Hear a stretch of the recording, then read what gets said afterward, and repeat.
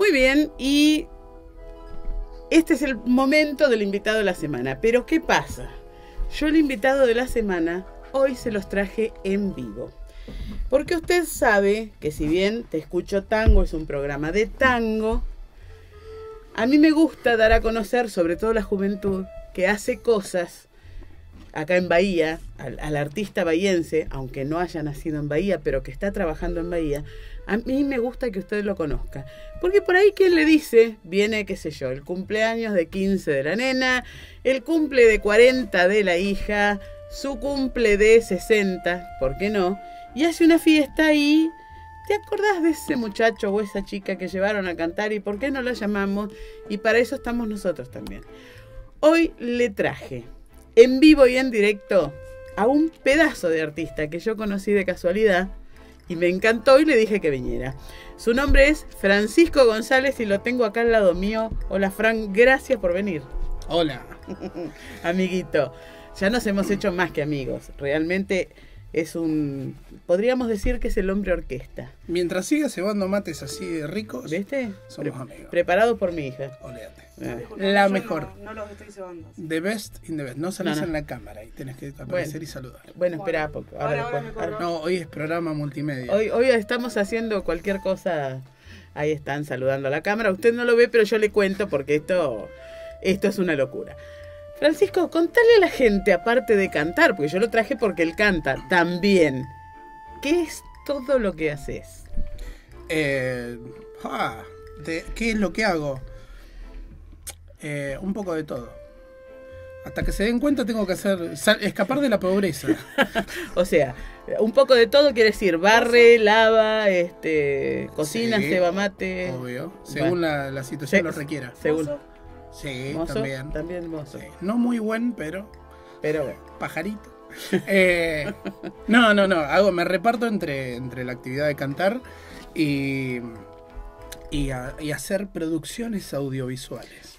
Mira cómo, mira cómo te lo digo. Perdóname cómo la vendió. Producciones audiovisuales. Lo que en criollo significa de toda la vida foto y video. Foto y video. Filmamos, hacemos casamientos, cumpleaños. Diseños, loguitos.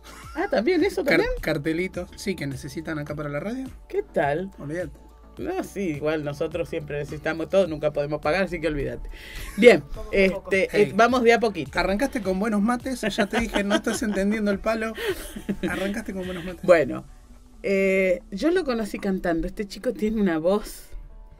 A mí me encantó, me encantó.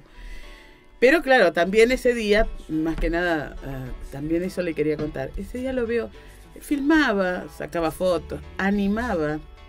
Él estaba trabajando el día que yo lo conocí en la revancha en el restaurante Parque de Mayo.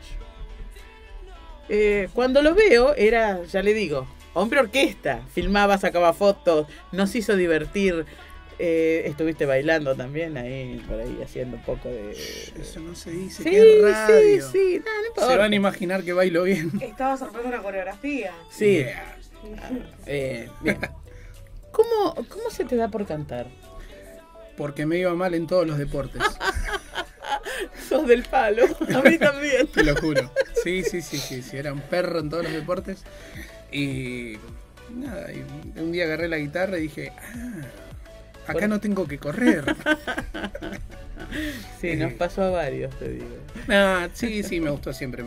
La parte lúdica de todas las actividades es lo que más me gustó. Entonces, desde todo lo que era artístico, dibujar, pintar, eh, tocar un instrumento, todo eso me gusta y siempre me gustó y con la diferencia que quizás en la música fui un poco más constante que en el resto porque evidentemente era más lo tuyo que el resto.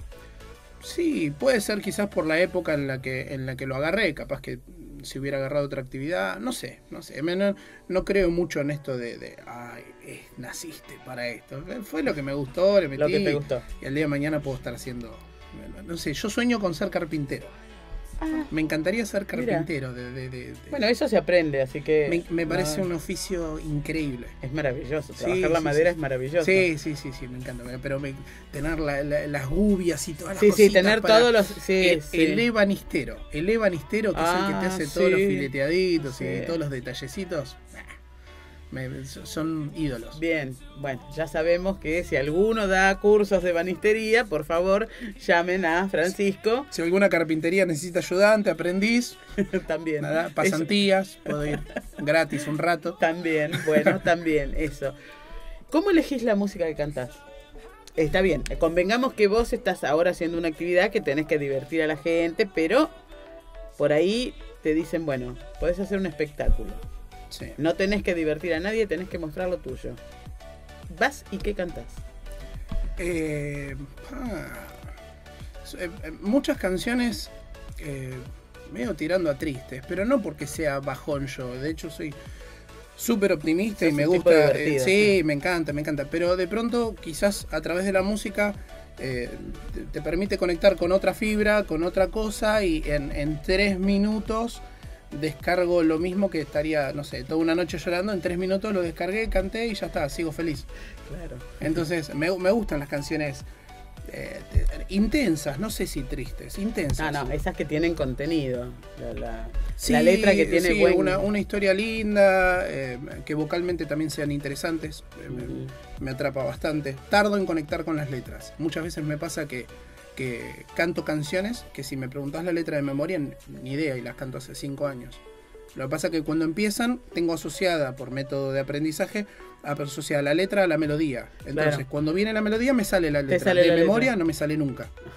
Y es porque en realidad no es que arranco aprendiéndome la letra como si fuera una po- un poema. Va ligado a la música y Sí, y, me cambias la música y y chao. empiezo a inventar. O te cambiaron el ritmo, como generalmente están haciendo. Sí, a veces. A, a veces hacen. Bueno, pero eso tiene que ver un poco con, con, con- con la fusión de estilos, algunos más respetuosos que otros, pero tiene que ver un poco con, con, con mixturar la música y que no esté todo el tiempo en un solo estilo y que no puedas salir de ahí. De pronto, una canción, eh, no sé, folclore hecho rock, me encanta. Claro, bueno, sí. Divididos, por Sí, ejemplo, sí, que por te ejemplo, agarra una buena samba de Atahualpa y te la Y te lleva la al rock lleva al rock y es te vuela la cabeza. Sí, sí, Entonces, ese tipo de cosas me gusta. Todo lo que tiene que ver con la música colombiana me encanta. Mm, Porque de pronto te mezclan. eh, te mezclan una cumbia con vallenato, con reggaetón bien hecho. sí, Y, y está bueno. y está bueno. Y está bueno. Charlie dijo, y está, lo pueden buscar en, la- en, en- en- en YouTube y esas cosas, lo dijo claramente, dice, la, la música es melodía, armonía y ritmo. Sí. Mientras tenga esas tres cosas me gusta. Claro. El problema es cuando ya le falta alguna Claro, de esas. Cuando le falta algo ya ahí es cuando suena Eh, un cuando- poquito a lata. Claro, exactamente. Ahí medio que reniego, pero bueno, también es la realidad. No quiero sonar incoherente.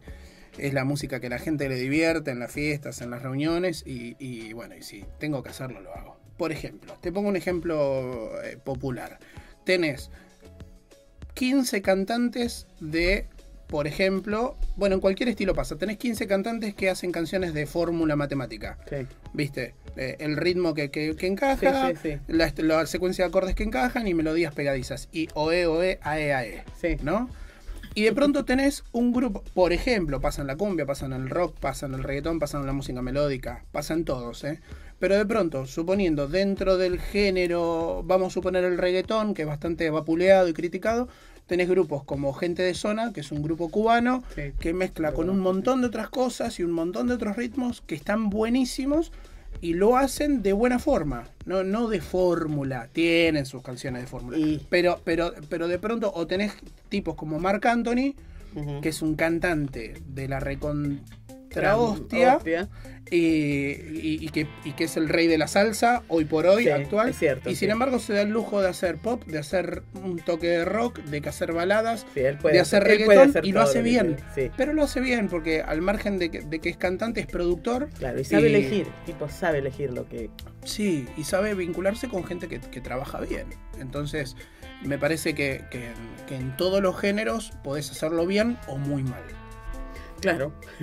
Exactamente. Todos, todos los géneros. He escuchado música de rock que está buenísima y música de rock que apesta.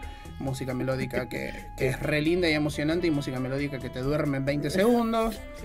Folclore súper bien hecho del clásico, del tradicional y del, del moderno, y del sí, moderno. Y folclore que quiere ser folclore y en realidad se ponen un poncho para vender y entrar Sí. en un festival y en realidad están cantando cualquier otra cosa. Es-